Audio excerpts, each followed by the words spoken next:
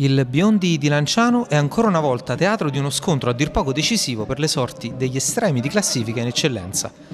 Lanciano e Casalbordino lottano infatti rispettivamente per riaprire le corse playoff e salvezza, con la necessità dei tre punti, mentre le giornate a disposizione per centrare l'obiettivo sono sempre di meno. Al quattordicesimo la prima vera occasione della gara capita sul piede di Fragassi che conclude dall'out eh, sinistro verso la porta di Torre, il suo tiro viene però neutralizzato con un bel volo dall'estremo del Casalbordino. Risponde da fuori area la squadra del patron Santoro con il mancino di Regner. La conclusione è forte e precisa, ma il giovanissimo Zappulla fa buona guardia e blocca in presa alta. Gli ospiti sollecitano ancora l'estremo Zappolla al ventiduesimo con una grande conclusione da fuori area di Della Penna che costringe il portiere lancianese ad un bel volo per deviare la sfera al di sopra della traversa. L'occasionissima il Lanciano la trova al 32esimo con il taglio di Rei che ben innescato si ritrova davanti a Thor ma non riesce ad avere la freddezza necessaria per battere l'estremo ospite.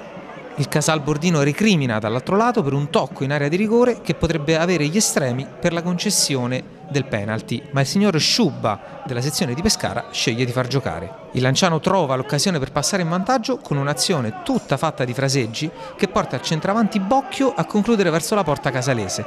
La parata di Torre è difettosa ed Iseni è sempre tempestivo nell'inserimento, ma la rete viene annullata dalla signorina La Torre della sezione di Chieti per fuori gioco. Non passano nemmeno due minuti dal gol annullato a Lanciano che a trovare il vantaggio è invece il Casal Bordino con un'azione di contropiede ben orchestrata dai propri giocatori offensivi con Giuseppe Ciafardini abile a dare una soccata vincente dopo essere rientrato dall'out di destra. Il tiro è imparabile per Zappulla e vale lo 0-1 dei giallorossi. Nel primo tempo non succede più nulla e l'avvio di ripresa vede subito il Casalbordino pericoloso. Siamo infatti al terzo minuto quando una lunga azione di contropiede, inizialmente molto ben orchestrata da Salguero in velocità ai danni di Scipioni, porta ad una conclusione verso la porta di Zappulla che si salva deviando in angolo. Ancora un contropiede per gli ospiti che sfiorano il raddoppio, inizialmente giostrando sull'out mancino e poi portando la sfera dalle parti di Salguero, che conclude e fa letteralmente la barba al palo alla destra di Zappulla. All'undicesimo minuto della ripresa va ancora vicinissimo allo 0-2 il Casalbordino con la conclusione di Grandis che approfitta di una bella azione nata sulla fascia destra ma non riesce ad inquadrare la porta del Lanciano. Il Casalbordino trova il meritato raddoppio sugli sviluppi di una serie di calci d'angolo con una bella sponda di testa che permette a Della Penna di inserirsi e di concludere un'azione continuata dei giallorossi. Il numero 8 ospite è freddo e batte Zappulla per il centro dello 0-2. Ancora gli ospiti ad un nulla dal centro che varrebbe il tris, con l'azione innescata dal solito Regner che porta Salghero davanti a Zappulla. L'attaccante del Casalbordino temporeggia però e conclude con una sorta di scavetto che il portiere di casa blocca facilmente.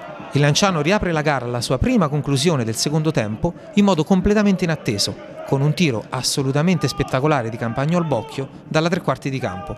Conclusione da fuori classe del numero 9 dei locali che supera in modo imparabile il portiere Torre e porta la gara sull'1-2. Il Casalbordino non lascia però spazio all'assalto finale dei Frentani e colpisce ancora, sempre su azione di contropiede e sempre con un inserimento di Della Penna, abilissimo questa volta a scavalcare con un pallonetto Zappulla ed a firmare la sua doppietta per l'1-3. Gli ospiti controllano gli ultimi tentativi dei rossoneri e portano a casa tre punti fondamentali, ottenendo la loro quinta vittoria di fila ed infiammando clamorosamente la lotta salvezza. Il Lanciano, con la sconfitta di oggi, dice sostanzialmente addio invece alle ultime speranze di giocare playoff. Con il direttore Dorazio, dopo una pesante sconfitta del Lanciano tra le mura casalinghe.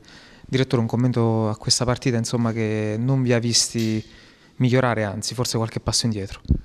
Ma sicuramente c'è stato un passo indietro, è vero che incontravamo una squadra, c'è la classifica è bugiarda in quanto la società Casalbordino ha rinnovato tutto, tutto la, la, tutta la rosa, quindi è una squadra di tutto rispetto, ma um, l'atteggiamento nostro è stato un atteggiamento tipo vittimi, vittima, anzi devo chiedere scusa come ho già detto all'altra emittente, a tutti i tifosi del Lanciano e soprattutto agli ultra che ci hanno incitato fino alla fine. Un atteggiamento non bello quello visto da parte dei giocatori del Lanciano, tante sbracciate, tante, insomma poca convinzione. Da che cosa dipende? Ma dipende che noi abbiamo più volte abbiamo dimostrato questi atteggiamenti un po' passivi Quindi significa che bisogna continuare a lavorare sotto questo aspetto e peccato perché la classifica, nonostante il gap che c'è, ci ha aspettato fino ad oggi.